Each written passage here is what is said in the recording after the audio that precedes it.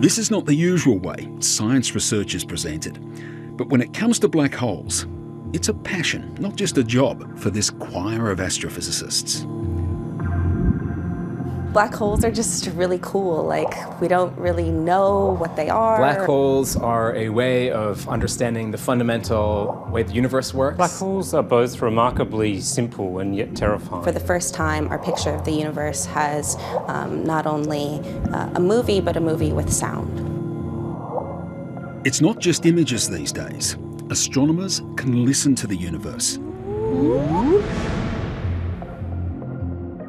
The very first sounds they heard were picked up a couple of years ago by the massive LIGO detector in the United States. It heard the sound of two black holes circling, then merging. A Nobel Prize was awarded for the finding.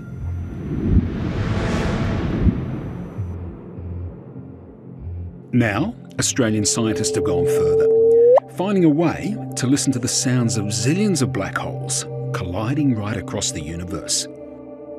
Of course, it won't change your life, but it's a huge breakthrough for understanding the cosmos. Look, it gives us a taste of the universe at its most extreme. It's when you've sort of set the laws of physics to stun. And to a physicist, that's an exciting place to probe it and test whether Einstein was right or not. The place to see colliding black holes is Swinburne University's Virtual Reality Lab in Melbourne. So if you want to see what this looks like, put on your goggles. Okay, enter another world. Hmm. The world of the black hole. Of curved space-time. Oh, look at that. Two black holes are orbiting. You can see their gravity so immense, it's bending light itself. And so, with time, these circling black holes are unstable.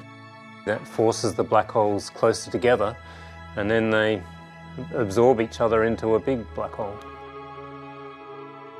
Because of the colossal gravity forces. As the black holes get closer, they give off rhythmical ripples, gravitational waves. And uh, the gravitational waves are basically the black holes are so vigorous they're shaking the fabric of space time itself. Yeah, that's a very good description of it. The gravitational waves are detected and converted to sound waves. And this is what you hear.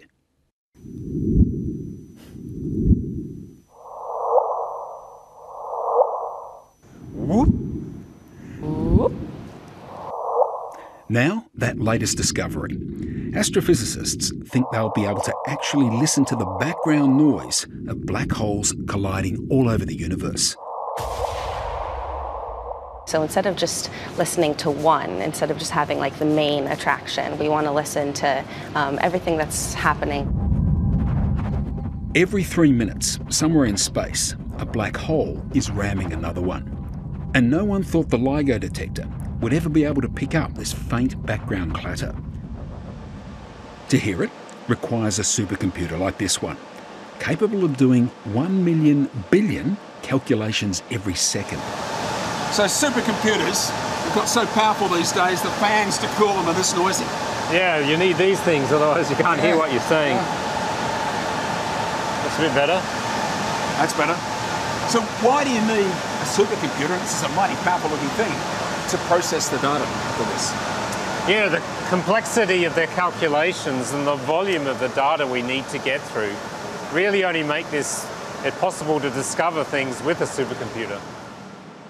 The calculation will shed light on black holes from the beginning of time.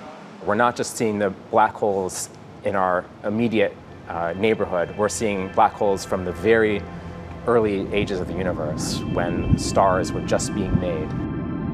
By reaching into the past like this, researchers hope to advance our understanding of the universe in the present.